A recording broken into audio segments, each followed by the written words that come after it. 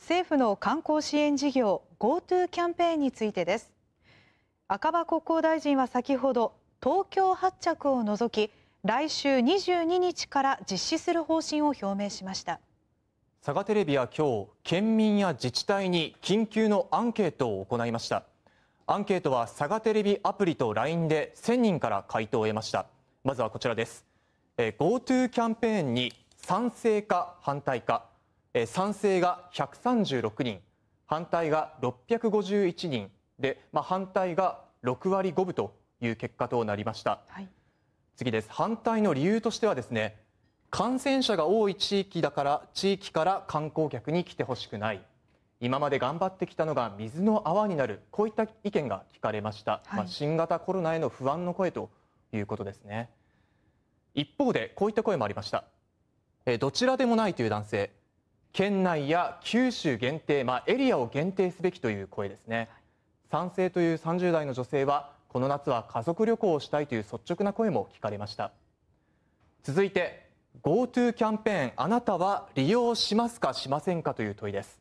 えはいと答えた方が262人いいえという方が738人という結果となりました。ここでもですねいいえと答えた方のほぼ全員が感染拡大への懸念の声でした、はい、一方でこちらです。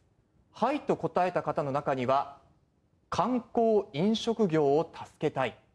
さらには佐賀県内でなら旅行したい。こういった声があったんですね。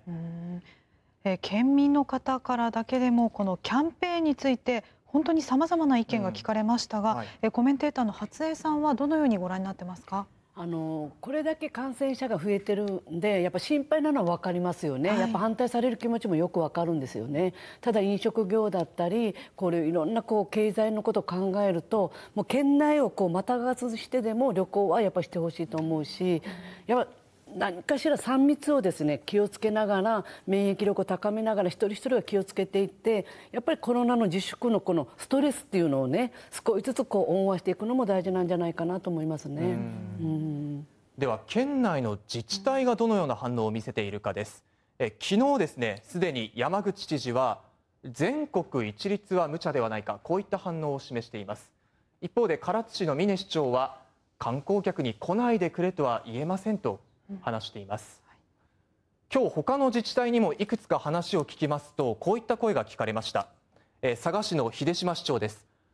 観光産業を支援するためキャンペーンは有効。だが全国一律は不安。近場から始めて広げていくべきという意見ですね、はい、さらに鹿島市の樋口市長は感染者がいまだに1人も出ていない町としてはウイルスの持ち込みが心配だという意見が聞かれました、うんさらには、えー、武雄市の小松市長は観光客は1人でも多く来てほしいがまず九州ブロックなど段階的な実施が望ましいのではないかといった意見ですね。こういった声が聞かれました、